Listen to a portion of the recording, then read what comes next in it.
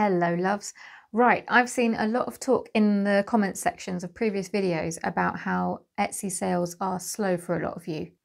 So I thought I'd do a quick video on that. It was going to be a video about setting up a mailing list, but I've decided to scrap that and go with this instead today. So if sales are slow for you at the moment, don't panic. I'm going to explain why that might be now, and I'm also going to give you some tips on what you can do to keep sales ticking over. Right then, so welcome to the channel first off if you're new here. I'm Kim and this is the Beech Tree.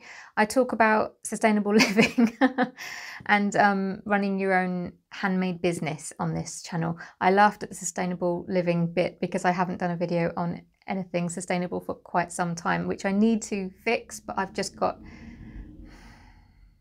interrupted by a car. I've got so much to say about running a handmade business and I just haven't shut up about it really. If you're here, I'm guessing it's because you have an Etsy shop and you've noticed that sales are slow at the moment. Why is that?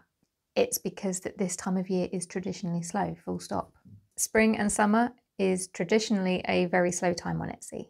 If you started your shop in the last year, 2020 was insane. I read somewhere that it was the biggest busiest and most successful year that Etsy has ever had to date. And it's been going at the time of recording this for about 16 years. So that's quite a year. If you started your shop in the middle of that, this is going to be quite a frightening experience for you because you've you've started at this level and that's your normal. And so for, to see it go, it's going to panic anyone. So don't feel ashamed for, for that, but also know that it's normal. In fact, I'm willing to bet that we're going to see a quieter than normal quiet period this year. Obviously, last year was it was last year.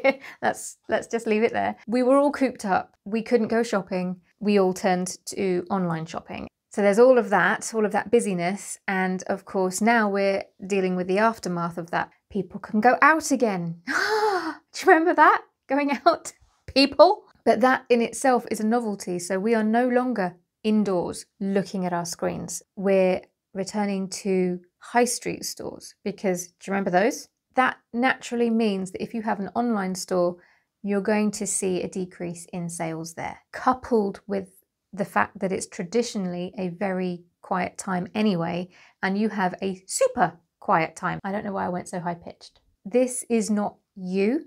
It's nothing you've done wrong. It's just the way Etsy is. You might be in a niche that does really well at this time of year. And if that's the case, then this video probably isn't going to be too helpful for you.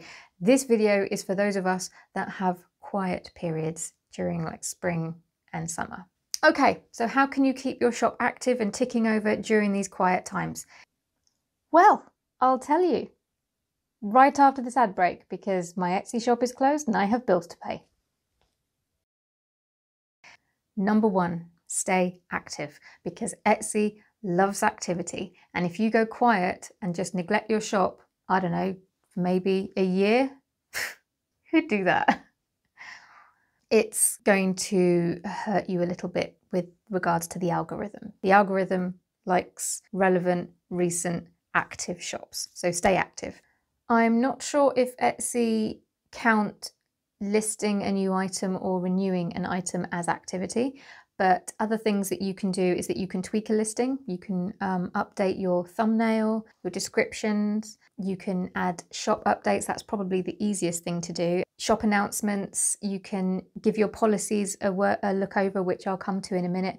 But basically, just keep on showing up. Even if you think no one's there, you need to make sure that when customers come to your shop, they see it as a hive of activity and not a shop that's been neglected because that will put shoppers off. So when it picks up, and it will, you want to make sure you're ready. Number two, linked to that is stay active on your other platforms. So, for example, if you've got your social media platforms linked to your Etsy shop, make sure that you're active there too and showing up and just being there. Because there is nothing worse than finding a shop that you love, not seeing so much activity on it, clicking on a social media link and seeing that the last time they posted was four or five months ago. It doesn't really make you trust the shop or maybe want to buy from them. You want to buy from someone who's there.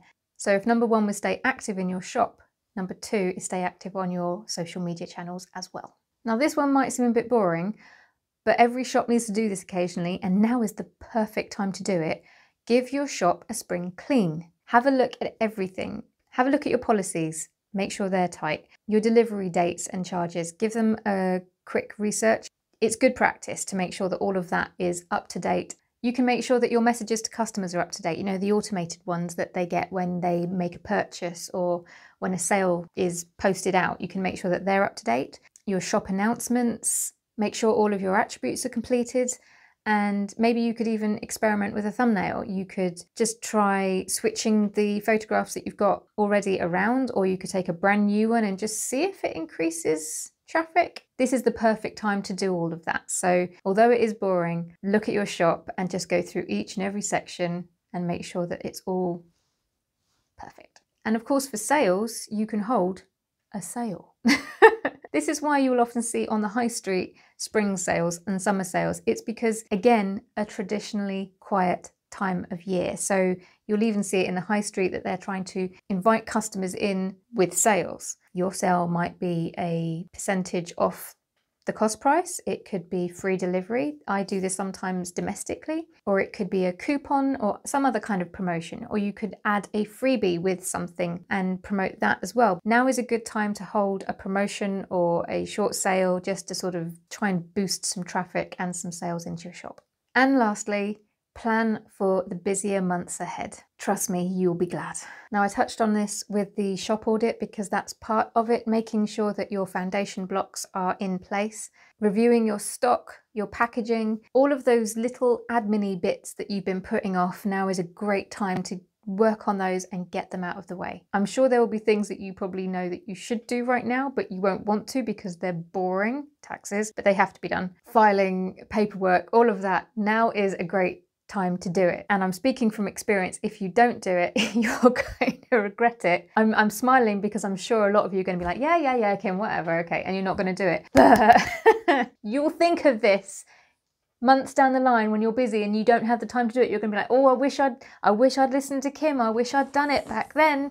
Listen to me. Actually, don't because I'll probably ignore my own advice too. This is one of the biggest lessons I've learned from running your own business it's all very well knowing what you should do, but doing it, that's hard.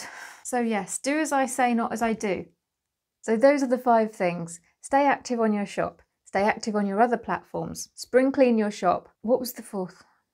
Have a sale or some kind of promotion and get ready for the busier months ahead because I promise you, although it's quiet now, busier times will come again. Just know that this is part of owning an Etsy shop help. Owning a handmade business, there are peaks and troughs. Some of you might not be finding it quiet at all, and if that is you, then I hope you're doing okay. I hope you're taking time for yourself. And regardless of where you are on your Etsy handmade business journey, I wish you the best of luck. All right, my loves, I hope that has helped a little bit. And that's it from me. I will see you next week. Ta